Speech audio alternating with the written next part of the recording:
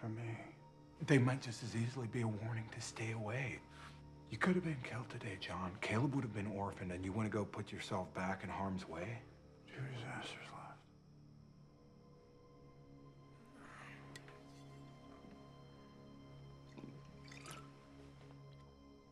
Right now, my scientific mind is telling me to have nothing more to do with this.